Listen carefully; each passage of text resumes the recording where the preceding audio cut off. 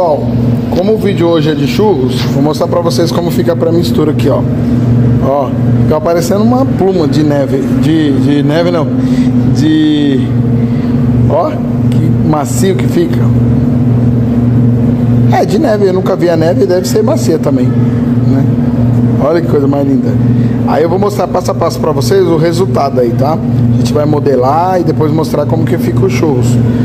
Pessoal, quer aprender? Entra aí no curso, cursodesalgados.com. É o meu curso, tá, pessoal? Aí o suporte é direto comigo no WhatsApp. Ninguém fica sem suporte, tá bom? Graças a Deus, todo mundo que está comprando o curso aí está se dando muito bem, né? Inclusive, quem não tem modeladora, pessoal, e compra meu curso, eu mostro certinho a modeladora que vai satisfazer né, sua produção, para você não perder dinheiro até no investimento da máquina, tá? Meus últimos alunos aí podem confirmar, né? Vocês vão ver que todos eles, quem não comprou máquina através de mim, comprou máquinas corretas, tá? Que não perderam dinheiro, nem insumos, porque o meu curso é completo, você não vai perder nada, tá bom? Então você vai modelar, vai vender seus salgados, vai ter garantia que o cliente vai ficar satisfeito, é bem bacana. Hoje é o churros, tá bom? Fica aí que eu vou mostrar para vocês passo a passo. Pessoal, aqui ó, vai a água, ó o cheirinho do do da baunilha, bem bacana, tá? Quando tiver em ponto de fervura, nós vamos vir com a com a pré-mistura e jogar aqui dentro. Aí vocês vão ver que rápido que é para produzir, tá? É quase igual a massa do salgados.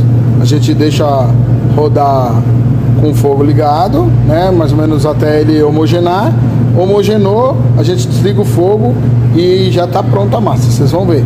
Aí deixa sovar só um pouquinho, uns 3 minutinhos, em média de 5 minutos fica pronto também a massa, a minha pré-mistura de churros. Fica vendo aí, acompanha aí. Pessoal, ó, falei pra vocês, ponto de fervura, tá? Aí a Vânia vai jogar aqui o toda a pré-mistura, conteúdo conteúdo todo, ó, vazia, tá? Gente vamos vir aqui abaixar a maceira. Aí tem a travinha na lateral de segurança.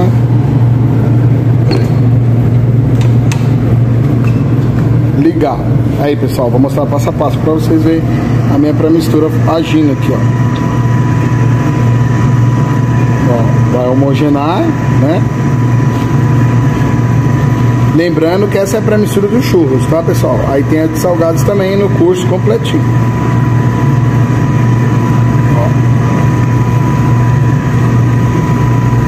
Olha que bacana, ó. Já homogenou, ó. A dos churros é mais rápido, pessoal. Tá vendo, ó? Ela homogena em menos de um minuto, ó. Aí, a gente vamos desligar aqui. Certo? Desliguei. Agora é só esperar sovar certinho, ó. Já desliguei o fogo. Agora é só esperar sovar, que tá prontinha a massa de churros para fazer os churros. Daqui a pouco eu mostro para vocês esticada lá na, na, na mesa para esfriar. Pessoal, ó, olha que bacana a massa aqui, ó. Tô abrindo ela, ó. Olha que leveza que ficou a massa. Tá vendo? E o churros fica assim, pessoal. Fica realmente desmanchando na boca. Show de bola. Vou abrir aqui e mostro pra vocês. Pessoal, massa devidamente esticada, ó. Que belezinha, ó. Tudo homogênea, né? Sem nenhum grumo de farinha, nem nada.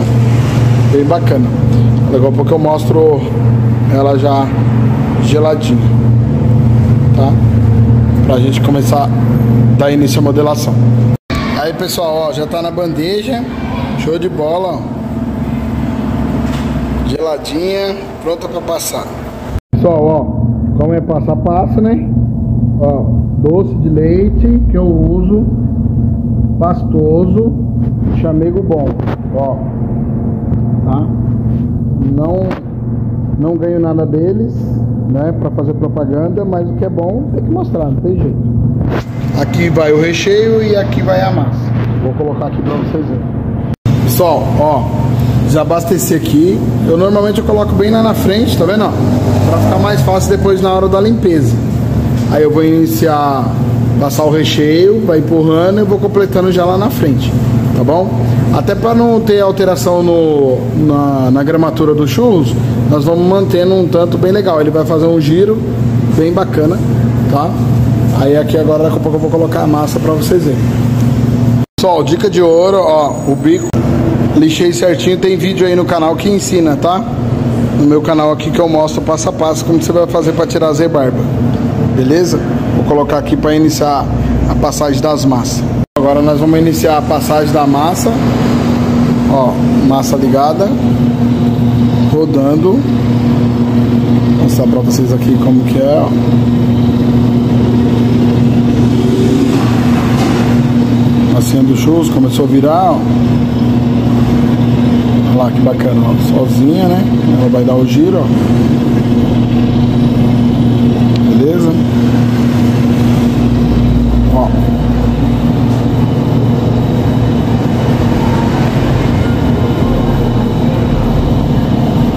Quando chegar a massa aqui, aí a gente interrompe a passagem da massa para começar a passar o recheio. Ok?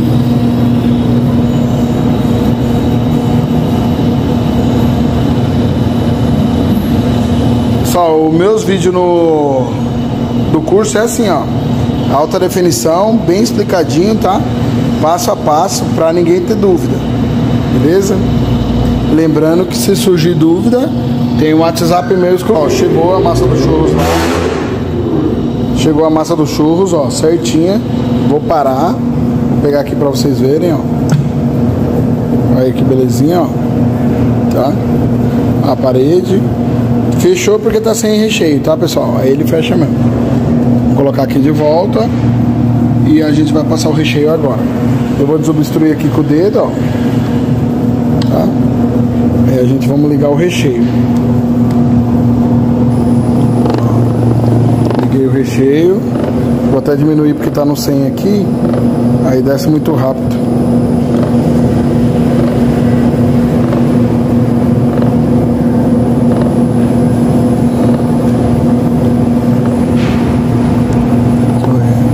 Já tá indo.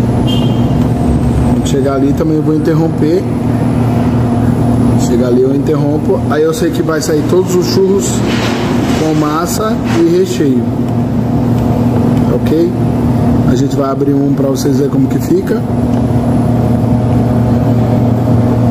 Vamos aguardar que o doce vai chegar ali. Ó.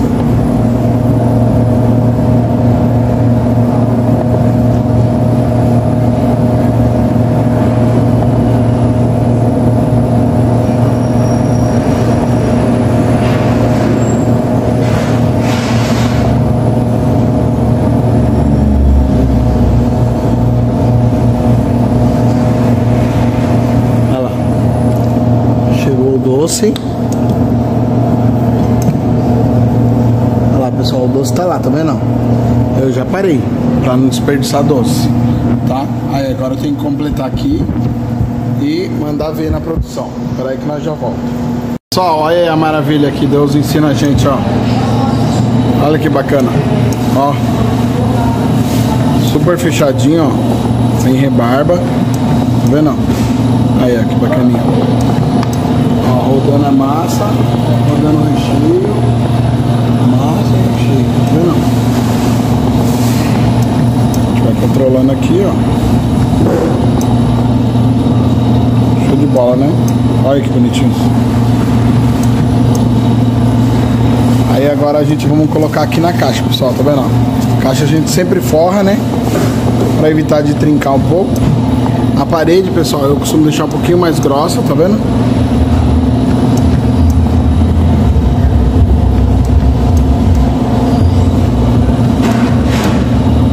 Olha que bonitinho.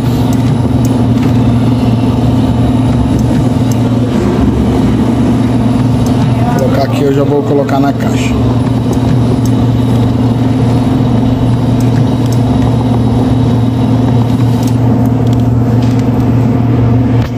Ó como fica organizadinho, tá vendo?